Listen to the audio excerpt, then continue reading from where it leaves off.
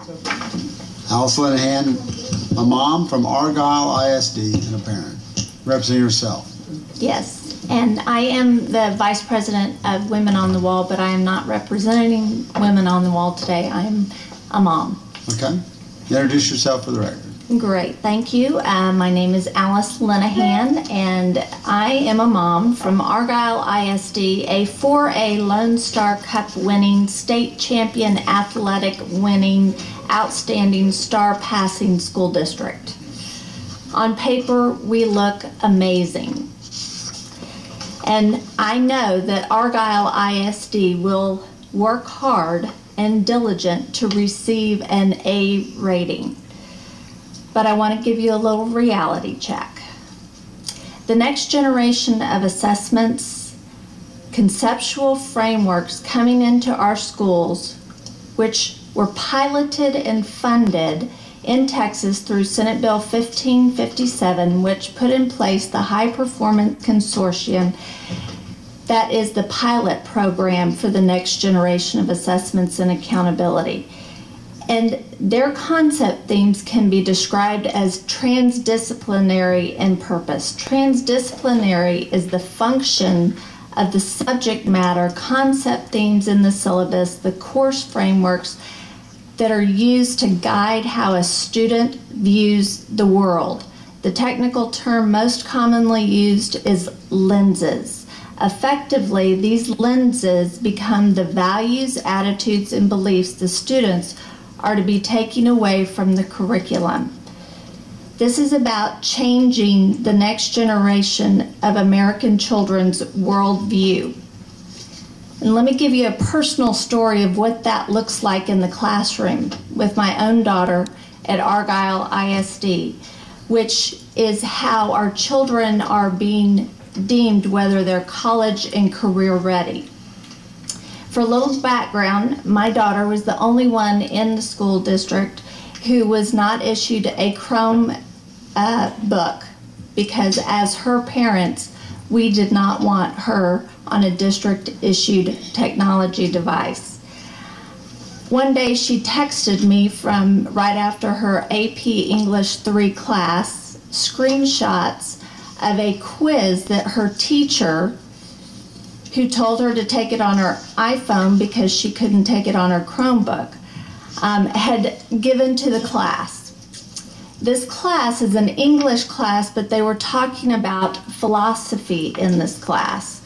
The teacher was using one of the four C's, which she's now trained to do. She was using collaboration, so she broke the class down into groups, and they were given a philosophy and then they had to do research on that philosophy, so they went and took this quiz online. The quiz was 30 questions that asked things like Do you believe there's an Almighty God? Do you believe that atheism is a religion? Do you believe that homosexuality is unnatural? Do you believe that children should be protected at all costs? Do you believe that the Holocaust happened as described in the textbooks? Then this quiz created, or this website created a tension score and gave a report. And where there was a conflict in the students' answers, it gave a report. And let me read for you from my daughter's report. It says, you agreed that there exists an all powerful, loving God and good God. And you also said that to allow an innocent child to suffer needlessly when one could easily prevent it is morally reprehensible. These two beliefs together generate what is known as the problem of evil. The problem is simple. If God is all powerful, loving, and good, that means that He can do what he wants and will do what is morally right. But surely this means that he would not allow an innocent child to suffer needlessly, as he could easily prevent it. Yet he does.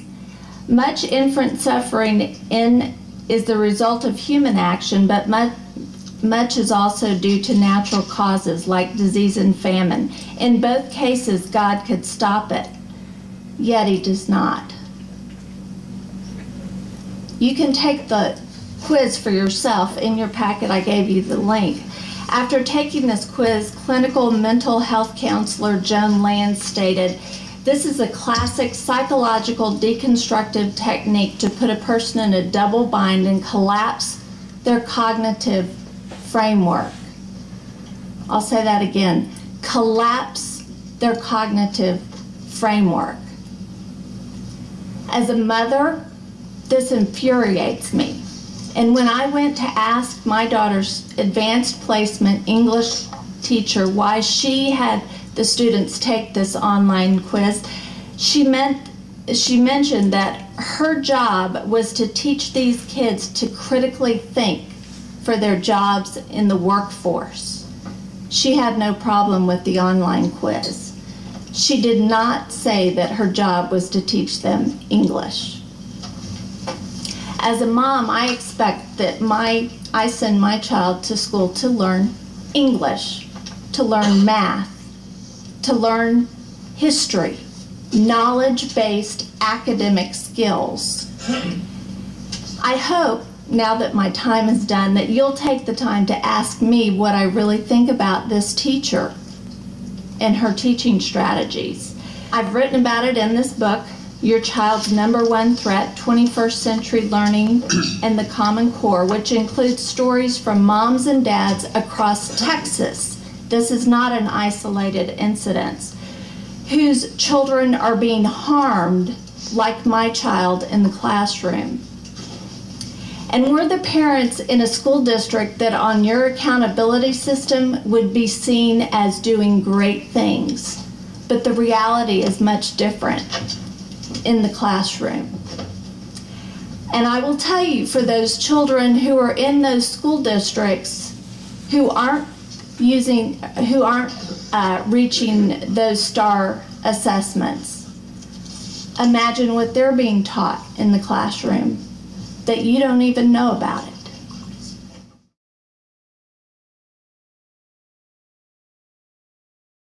I know that a lot of times we would look at a teacher and blame a teacher for something that happens in that classroom because ultimately it's the teacher that gives the lesson.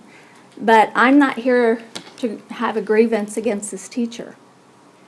I want you to see that your responsibility, ultimately, curriculum in Argyle ISD is the superintendent's responsibility.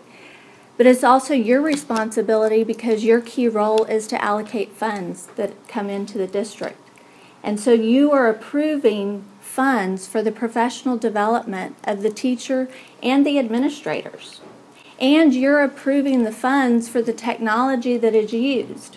It's those kids who are here tonight who are going to be impacted because now their data can be collected from preschool through the workforce and as they get rid of the STAAR test or the end of course exams and they create an individual portfolio on a portfolio on a child, that portfolio will follow that child through the workforce. And you may not have all the power instead of just signing off on any professional development, but to say, who are the people teaching at this professional development? What are the learning theories? Who is Lev Vygotsky? Who is Grant Wiggins? Who is Robert Marzano? These people, Lev Vygotsky, who a lot of these learning theories and what's coming into the classroom, he's a behavioral psychologist from the Soviet Union. And most people don't know that. Most teachers who are implementing these learning theories, they don't know that. So I don't blame the teachers. I don't blame you, but you've been forewarned. And that's why I had to take out my, la- my youngest child because I know what's coming. There's a shift happening in education today. But and they'll say it's 21st century learning. This is not 21st century learning. There was a push for this in the late 60s, early 70s, again in the late 80s and early 90s, and now again. In the 80s and 90s, it was deemed outcome based school to work. it was pushed back against by moms and dads and teachers because they knew how harmful this was to our children. And I'll close with this. This shift in education, whether you call it college and career ready, 21st century learning, innovative, Every Student Succeeds Act. It's a shift away from an education of opportunity, equal opportunity, because children in the classroom are learning knowledge based skills, reading, writing, how to do math, and they know history. This, what is happening and what you've talked about all this morning, is about an education of equity and equal outcomes based on attitudes, values, beliefs, and behaviors and changing the next generation's worldview. There's a huge impact that has happened now that the Common Core has hit 45 states. In Texas, we have the same learning theories and teaching strategies. It's just called College and Career Ready. We have the same pre K through the workforce system where we're collecting data on my children. And it's a shift away from the mental, academics, knowledge based assessments, end of course tests, to behaviors and performance standards and competencies for the workforce. The ideology behind this is to change America's worldview from nationalism to globalism. And it allows for government controlled economy. There's a French word that's used in other countries. Hand, I'm sorry, your, your time This is is my very expired. last sentence. It's called dirigisme, and it means a state directed economy. I did not have my three children to be human capital for the state of Texas. Thank you. Thank you. If there was any questions? Thank you, panel.